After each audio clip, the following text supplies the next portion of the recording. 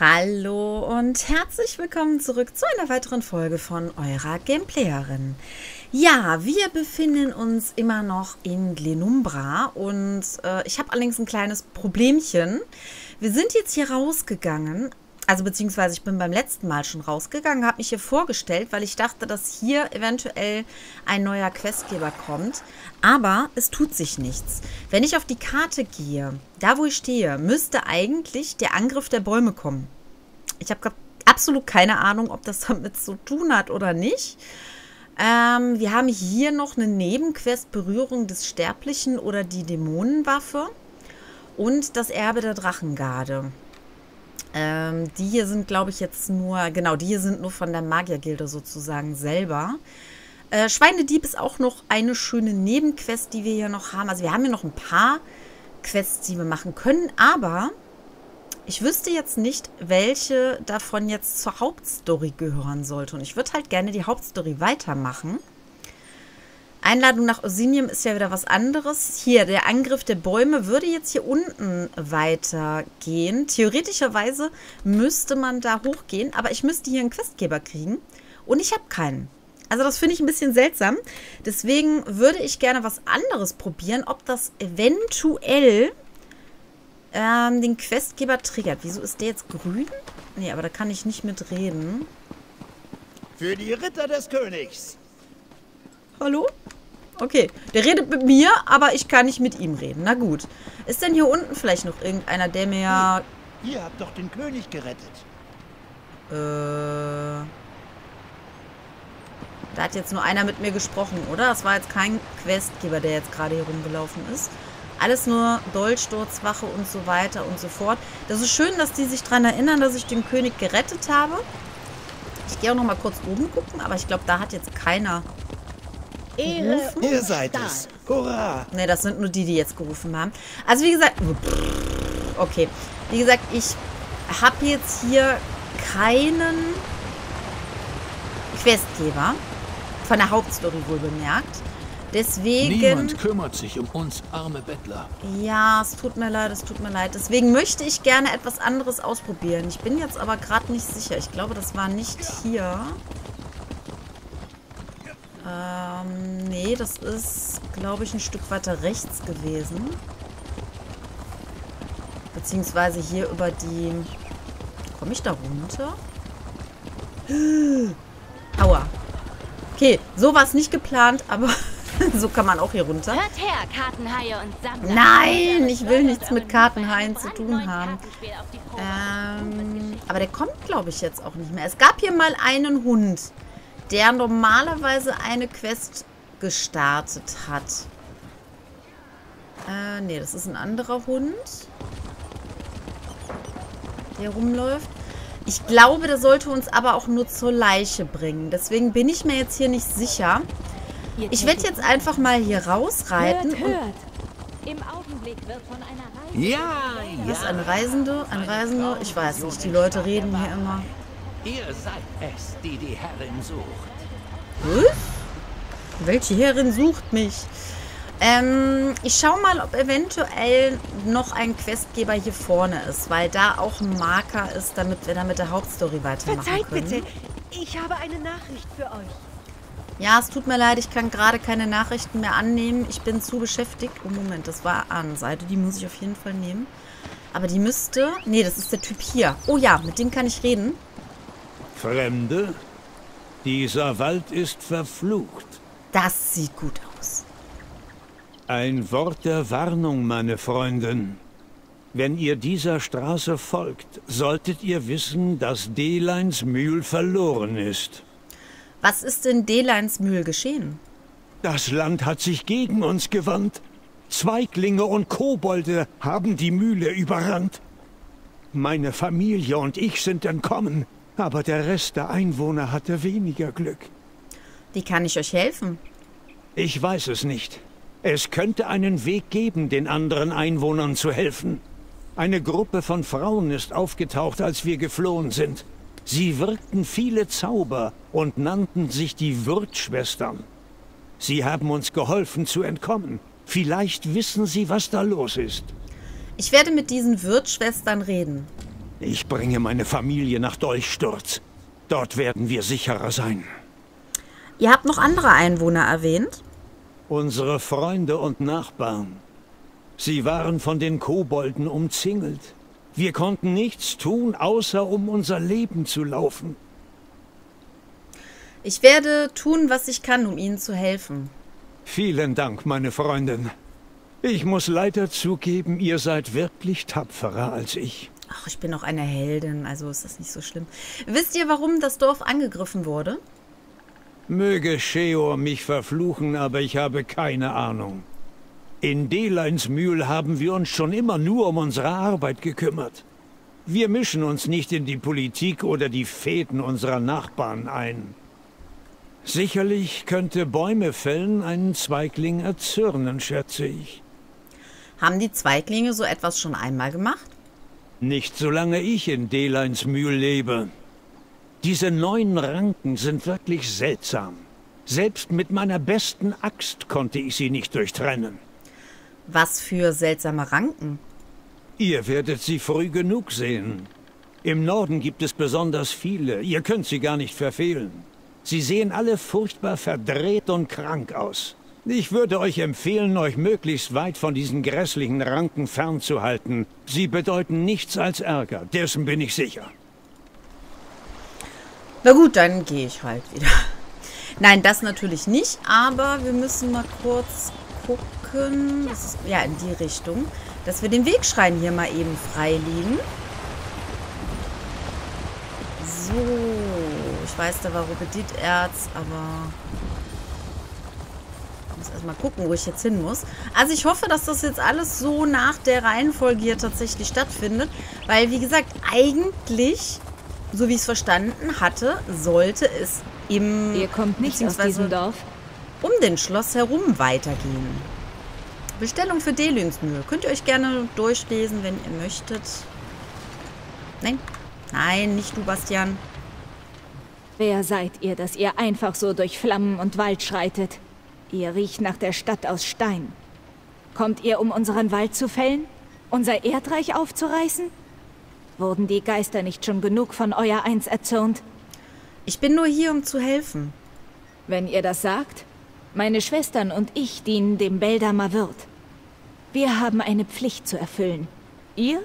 Ich kenne eure wahren Beweggründe nicht. Dennoch könnten wir die Hilfe von jemandem gebrauchen, der nicht so eng mit dem Wald verbunden ist wie wir. Ihr könntet euch also doch als nützlich erweisen. Was soll ich tun? Meine Schwester Olyna ist da draußen und wahrscheinlich irgendwo zwischen den Feuern und den wütenden Kreaturen des Waldes gefangen. Die Feuer brennen, unsere Schwester wird vermisst und die Einwohner sterben. Dagegen muss etwas getan werden. Ich werde mich um die Feuer kümmern und jeden retten, der noch am Leben ist. Holt alle hierher zurück, damit wir sie hier beschützen können. Zumindest für eine Weile.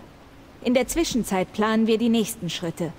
Und sorgt dafür, dass diese Feuer gelöscht werden, dieses Gebäude stellt keinen großen Schutz mehr dar, wenn es abbrennt.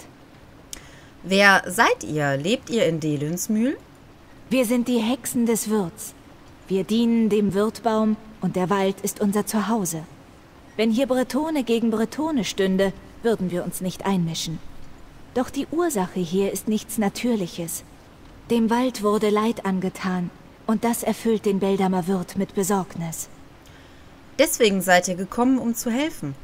Wir halten uns zwar gerne abseits, aber wir sind nicht herzlos. Niemand verdient es, für etwas zu sterben, an dem er keine Schuld trägt. Wisst ihr, warum der Wald so feindselig geworden ist? Liegt das nicht auf der Hand? Die Bewohner der Stadt des Steins sind dafür verantwortlich. Sie haben keinen Respekt vor der Natur. Die Natur lässt sich nur bis zu einem gewissen Grad beugen, bis sie zu leiden beginnt. Dann fordert sie ihr Recht wieder ein. Die Natur setzt sich am Ende immer durch. Deshalb sind die Ranken aufgetaucht. Welche Ranken? Die Ranken. Sie sind schon vor Wochen aufgetaucht. Sie brachen aus der Erde hervor und breiteten sich über ganz Glen Umbra aus. Wir hatten solche Ranken vorher noch nie gesehen. Und selbst der Wirtbaum wurde von diesem sonderbaren Gewächs umschlungen. Was immer hier auch vor sich gehen mag, niemand ist davor sicher. Ich will ja nichts sagen, aber hat zufällig einer von euch mal H2O geschaut? Also die ursprünglichen äh, Folgen davon. Ich glaube, die ersten drei Staffeln waren es. Ja, diese Stimme kommt von einer der Meerjungfrauen. Das triggert mich irgendwie. Aber im positiven Sinne. Ähm, holt Wasser aus dem Brunnen, um die Feuer zu löschen. Die wir wahrscheinlich also löschen müssen, um den Bewohnern zu helfen. Versuche mal weitestgehend den armen ja, Viechern hier, Tieren kann man ja nicht so wirklich sagen, keinen Schaden zuzufügen. Muss ich dir noch Bescheid sagen, dass du abhauen sollst? Hallo? Genug! Mura sieht sich das nicht länger mit an. Hier Dann werdet keinem von Muras Freunden mehr wehtun. Diese Kreaturen tauchen nachts auf und versuchen Mura alles wegzunehmen. Diese hier hat hart daran gearbeitet, Freunde zu finden, Leute, die sie akzeptieren. Mura wird nicht zulassen, dass diese Bestien ihre Freunde töten. Es gibt Überlebende. Sie sind in der Mühle. Sprecht ihr die Wahrheit? Ja. Mura dachte, sie wären alle tot? Jetzt bringt ihr mir diese guten Nachrichten und fühlt das Herz von dieser mit Hoffnung. Die Wirtschwestern beschützen eure Freunde. Mura hat Geschichten über die Hexen gehört, die sich im Westen herumtreiben. Manche waren schön, manche nicht so sehr.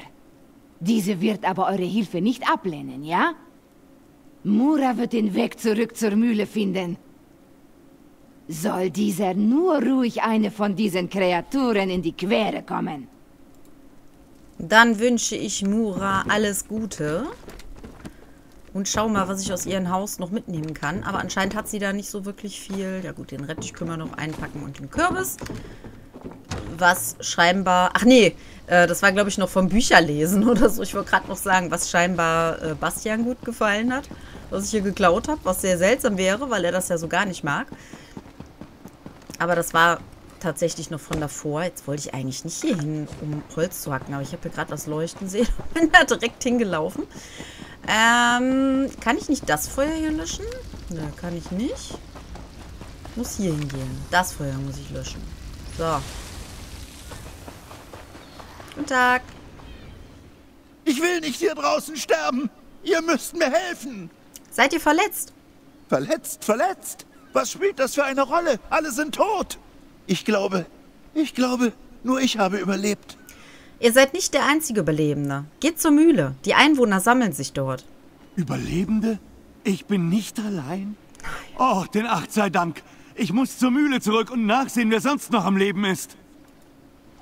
Nehmt den Weg, den ich frei gemacht habe. Nicht durch die Viecher durch. Äh, muss ich da hinten hin? Ja, oder? Ich bin mir gerade nicht so sicher. Oder? Da ist doch keiner. Das muss doch hier sein. Moment. Ich mach euch mal kurz. Ich, ich muss mal hier nach. Moment. Das noch gar nicht kaputt. So. Da ist er. Hallöchen. Es ist äh, gut, dass ihr rechtzeitig hergekommen seid. Ihr wart viel gnädiger, als ich zu diesen Kreaturen gewesen wäre. Mhm. Geht es euch gut? Ha! Besser als diesen Kobolden, nachdem ich mit ihnen durch bin. Angenommen, äh, ihr habt sie nicht schon getötet. Habt ihr das? Sie alle getötet, meine ich. Habt ihr? Ohne eure Hilfe geht jetzt zur Mühle. äh, der Weg zur Mühle ist frei. Dort seid ihr sicher. Die Mühle? Selbstverständlich. Nun, wenn ich auf dem Weg auf feindliche Kreaturen treffe, werden sie den Tag bereuen, als sie sich entschieden, in unser Dorf einzufallen. Mhm. Ja. Ist klar.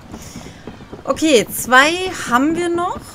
Was seltsam ist, weil wir eigentlich... Äh, war das jetzt hier drauf? Nee, der Pfeil ist Bleibt hier. einfach in meiner Nähe. Ach, wir das überstehen zwei. das schon irgendwie. Meine Tochter. Sie... Meine was, geliebte was, was? Tochter. Nein, sie... Sie kann nicht tot sein. Nein, aber wir müssen diese Feuer irgendwie löschen.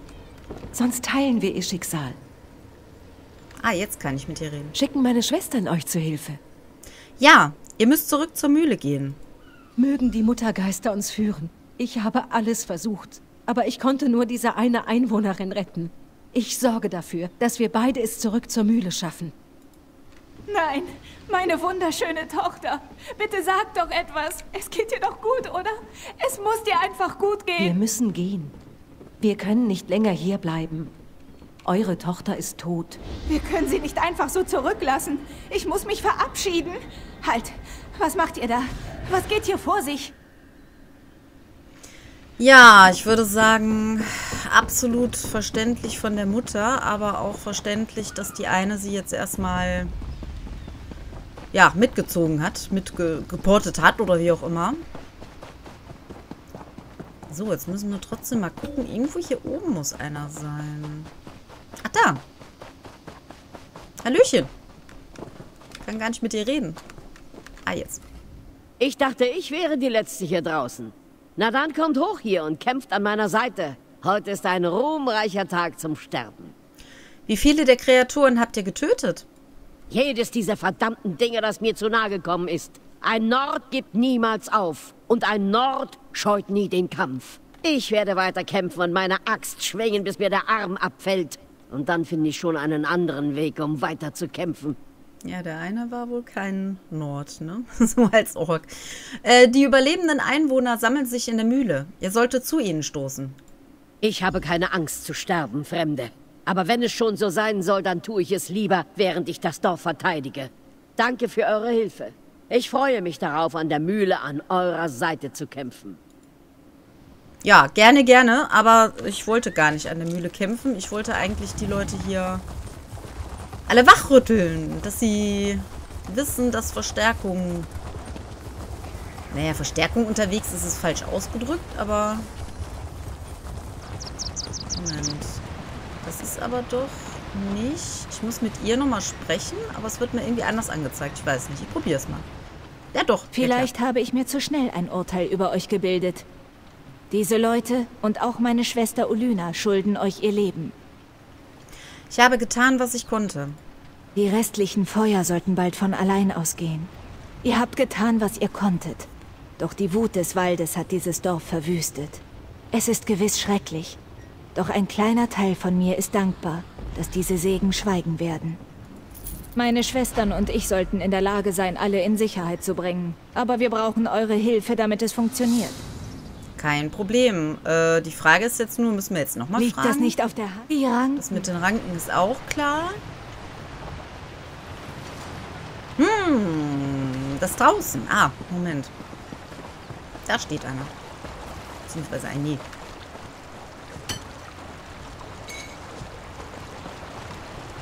Der Geisteswirt weint, da etwas seine Kinder in den Wahnsinn treibt. Ich sorge mich um die Unschuldigen in diesem Dorf. Was ist hier los? Der Wald ist in Aufruhr, hasserfüllt. Wir wollten ihn so besänftigen, wie wir es auch sonst immer getan haben, aber unsere Magie hat versagt. Noch nie haben die Elementargeister sich geweigert, auf unsere Rufe zu antworten. Das Gras, die Bäume und selbst die Erde, sie sterben. Was können wir tun? Für den Augenblick ist es unsere Aufgabe, die Einwohner vor diesen Kreaturen zu beschützen. Ich könnte einen einfachen Schutzzauber erstellen, um die Mühle zu beschützen, aber wir sind im Wirtbaum fern. Ich werde einen Fokus benötigen. Ich werde helfen. Was braucht ihr denn von mir? Nehmt diese Kreatur, geboren aus und an die Essenz von Ätherius gebunden. Lasst sie euch zu dem führen, was ihr benötigt.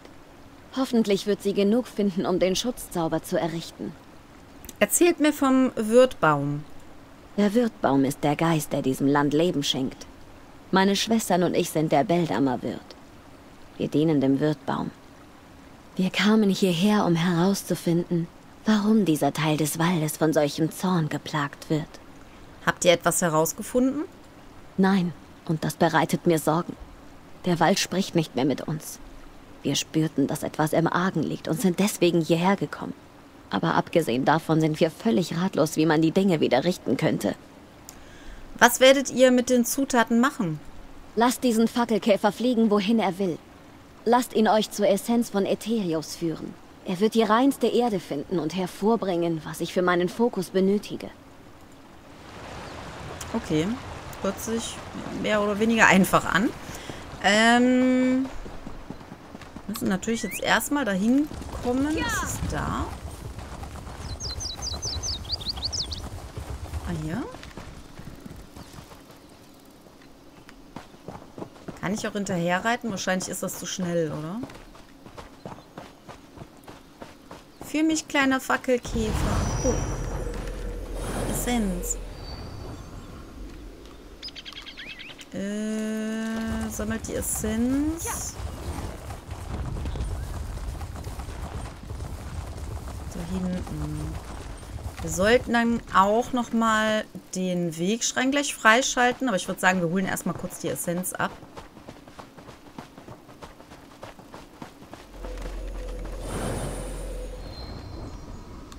So, und dann da unten nochmal. Aber wie gesagt, ich hole mal kurz den Wegschrein hier. So, dann... Den würde ich gerne noch mitnehmen. Pilz aber auch ganz gerne, wenn ich jetzt ehrlich bin. Du siehst mich nicht, okay? Ähm, da müssen wir rum. Wenn ich übrigens mal irgendwie echt so stöhnen sollte, dann liegt das nicht daran, dass äh, in Teso alles so schwer geworden ist, sondern einfach nur, dass wir heute 34 Grad im Schatten haben. Und wir jetzt sehr spät am Abend haben, aber immer noch äh, etwas über 30 Grad. Deswegen, ja. Ich bin noch nicht bereit. Natürlich bin ich bereit. Wo soll denn jetzt? Moment. Da hinten ist er. Hui. Hallo. Fackelkäfer? Fackelkäfer? Bin ich dem jetzt auf den Kopf gefallen oder warum ist der jetzt abgehauen, als ich da runtergesprungen bin? Ah, Essenz, sehr schön. So, hier kommen wir auf jeden Fall hoch. Auf der anderen Seite bin ich mir jetzt ehrlich gesagt nicht so sicher. Hup, da ist sie schon. Ich trauere um die Kreaturen, die ihr töten musstet. Normalerweise sind sie nicht so aggressiv. Ich habe dabei, was ihr benötigt. Möge die Essenz von Ätherius uns alle beschützen. Jetzt, bitte, geht zurück. Ich muss das Ritual der Abschirmung durchführen. Ich werde dann mal lieber aus dem Weg gehen. Hoffentlich funktioniert es. Da, das sollte gereicht haben. Kommt mit mir. Gut. Es hat funktioniert. Das ist ein hervorragender Schutzzauber, wenn ich das selbst so sagen darf. Uno? Also mit ihr muss ich sprechen. Dieser Schutzzauber wird uns etwas Zeit kaufen. Jetzt müssen wir herausfinden, was wir als nächstes tun werden. Wir sollten die Einwohner nicht auf ewig zu ihren Schutz einsperren. Abgemacht. Die Mühle ist fürs Erste sicher, aber wir müssen die Einwohner von hier wegbekommen. Und wir haben eine belebende Schärpe bekommen. Meine Schwester Jehanna hat einen Plan, wie man den Dorfbewohnern helfen kann, aber wir brauchen eure Hilfe. Wenn ihr helfen wollt, dann redet bitte mit ihr. Okay, okay. Das ist die hier vorne. Meine Schwestern und ich sollten in der Lage sein, alle in Sicherheit zu bringen. Aber wir brauchen eure Hilfe, damit es funktioniert. Was muss ich tun? Wir können entlang der Wurzeln des Wirtbaums reisen. Dadurch konnten wir so schnell hierher kommen. Doch der Boden selbst ist hier mit einer Art Verderbnis befleckt, sodass wir diesen Pfad nun nicht mehr beschreiten können. Die Wurzeln müssen mit reiner Energie genährt werden. Woher bekommen wir reine Energie? Nichts ist reiner als das Leben selbst. Wir könnten die Lebenskraft der Kreaturen nutzen, um die Wurzeln des Wirtbaums zu nähren. Tötet an jeder der Wurzeln eine der Kreaturen, die sich dort aufhalten. Ihre Lebensessenz sollte die Kraft liefern, die wir brauchen, um die Einwohner hier herauszuholen. Ich kümmere mich darum. Sucht die Wurzeln des Wirtbaums in der Umgebung der Mühle. Denkt daran, dass diese Kreaturen ihr Leben nah bei den Wurzeln aushauchen müssen, sonst nehmen die Wurzeln ihre Lebensessenz nicht auf. Jede Kreatur, die ihr nicht nah bei einer Wurzel tötet, ist grundlos gestorben. Erzählt mir mehr über die Magie des Wirtbaums. Der Wirtbaum nährt uns. Aus seinen Wurzeln ziehen wir Kraft. Seine Blätter spenden uns Schatten. Seine Wurzeln durchziehen ganz Nirn. Und daher bleibt nichts von seiner Macht unberührt. Okay. Dann müssen wir jetzt erstmal gucken.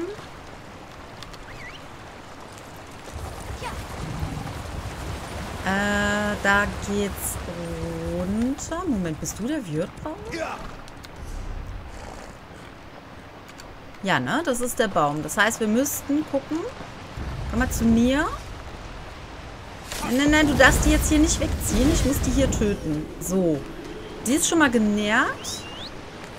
Ich dachte jetzt eigentlich, dass der Baum so, so einen Pfeil oben drauf bekommt, damit man den auch wirklich erkennt. Aber das war dann wohl eher nicht so.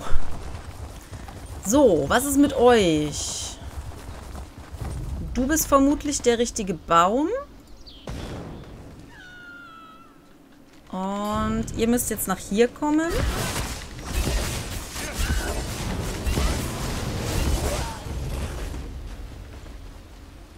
Ist das nicht der richtige Baum? Der hat die Wurzel. Oh, das ist der richtige Baum. Komm her. Komm her. Komm her. Das ist hoffentlich nah genug dran. Okay. Mut bringt den Sieg. So, dann... Jetzt müssen wir mal gucken. Moment. Äh, hier ist doch gar kein Baum. Rechts von mir. Rechts von mir ist aber kein Baum. Ach, jetzt geh mir doch mal nicht auf den Sack. Ich muss hier mal eben was gucken. Mann.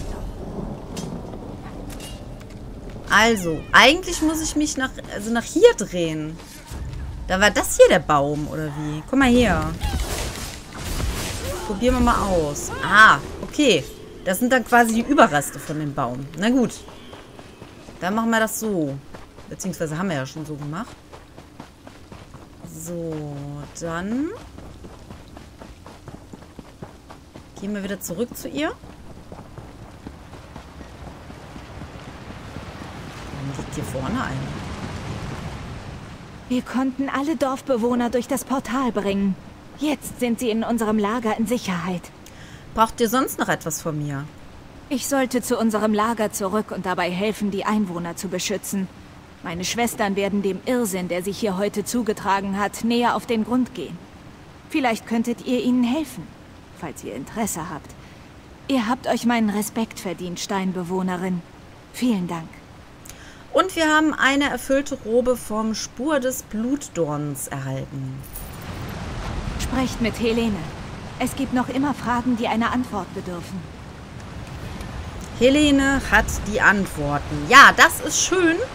Aber leider, leider habe ich gesehen, dass unsere Zeit mal wieder knapp wird. Deswegen machen wir hier erstmal einen kleinen Cut. Ich bin froh, dass wir mit der Hauptstory weitermachen können. Ich fand es so trotzdem ein bisschen komisch, weil der König so gesagt hat, so haltet in meinen Namen Augen und Ohren offen. In der Stadt, glaube ich, hat er noch gesagt. Und jetzt, äh, ja, ist irgendwie nichts mit der Stadt und es hat jetzt äh, woanders weiter äh, geführt hier von der Story her. Aber egal. Ich bin froh, dass wir es gefunden haben. Und ja, sag mal, bis zur nächsten Folge. Ciao.